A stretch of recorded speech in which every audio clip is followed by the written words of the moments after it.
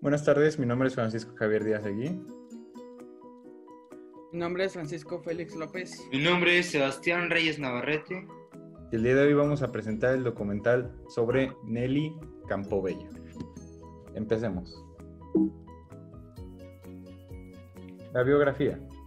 Nelly Campobello Mortón, María Francisca Moyaluna, nació el 7 de noviembre de 1900 en Villaocampo, Durango.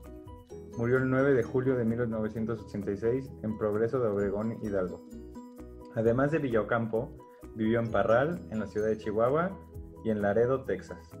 Llegó a la Ciudad de México en 1923. En la capital estudió en una escuela inglesa, tomó clases de ballet y se relacionó con intelectuales y artistas. Dio, dio a conocer en 1928 su primer libro, el volumen de poesía Yo, versos por Francisca, al parecer en edición de autor. Lo reeditó al doctor ATL al siguiente año. Su formación de balletista la llevó a incorporarse en 1930 a la, a la, sección de música y bailes nacionales de la Secretaría de Educación Pública. En 1931 fundó la Escuela Nacional de Danza, que dirigió por varias décadas. En 1943 creó el Ballet de la Ciudad de México y publicó Ritmos Indígenas de México en 1940 en colaboración con Gloria Campobello. Acerca del tema de la revolución, escribió Cartucho.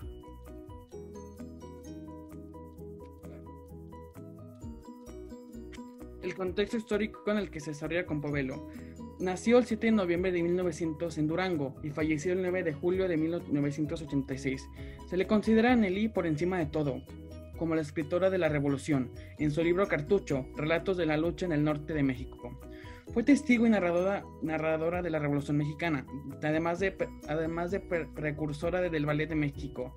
Por su trabajo literario, es considerada la primera narradora moderna del siglo XX mexicano. Ha pasado a la historia por ser una mujer emprendedora, que destacó en varias ramas artísticas, como la literatura y la danza, en que tuvo un papel sobresaliente en un momento histórico en el que las mujeres no estaban presentes en los cambios sociales. La importancia de su obra. Como ningún otro escritor de la Revolución, Campoello se aproximó al acontecimiento pasajero, instantáneo, aparentemente insignificante pero profundamente revelador. Ella no describió las batallas, ni las posiciones políticas, no rescató los testimonios extensos de los guerreros. Ella fue a su memoria para perpetrar los instantes más olvidables para todos y más intensos para los que los vivieron. Ella escribió de lo, sucedido en una tarde tranquila, borrada en la historia de la revolución. Es la importancia de la obra, ya que ella no escribió sobre los acontecimientos más importantes, sino de cómo se vivió la, eh, la revolución dentro de la sociedad. La importancia de esta obra se remonta a que no es una historia contada como todos lo conocemos, sino es una historia contada para la gente del pueblo, para que la gente vea cómo se vivió y cómo no eran solo lo que nos cuentan en las escuelas. En 1931 se publica en Jalapa, Veracruz, su obra más conocida, Cartuchos, Relatos de las luchas en el norte de México, esta misma financiada por Germán List Arzubide. Cartucho está narrado en tres grandes bloques, Hombres del Norte, Fusilados y En el Fuego. Cada uno está constituido por relatos cortos episodios o personajes de Parral y de Villocampo, contados desde el punto de vista de la niña Nelly. Esta visión es rara dentro del género de la novela de la Revolución. Está repleta de familiaridad y de detalles cotidianos, y muchos autores se atreven a decir que es la versión femenina de la revolución, porque se narra desde los espacios privados, desde la casa de la autora y de sus vecinos de la calle Segunda de Rayo en Parral. La mayoría de ellos eran niños y mujeres. La obra nos habla peculiarmente de la personalidad de las mujeres en el medio de este movimiento bélico, no bajo los estereotipos atribuidos en la época a lo femenino, como el sentimentalismo y la irracionalidad, sino como personajes fuertes y capaces, a veces desprotegidas, pero que enfrentan su realidad.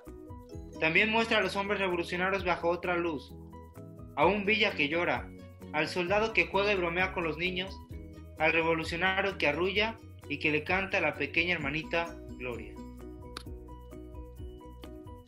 En mi, mi, mi opinión es que fue alguien que motivó a muchas personas por su obra, su vida y sus aportaciones en el mundo. Gracias a ello motivó a muchas personas por su gran talento y su forma de escritura tan característico, la cual la llevó a hacer un paso más adelante en el tema de, escritura, en el tema de, la, de cómo contar la situación, de la revolución y cómo lo tomó ella personalmente. Sinceramente, yo no conocía este relato y al momento de investigar y ver un poco más de la historia de verdad, me doy cuenta que era una persona digna de admirar. El relato Cartucho se me hace un relato muy interesante, ya que todos conocemos la revolución, pues como lo cuentan nuestros maestros de historia, todos desde un punto más histórico, digamos.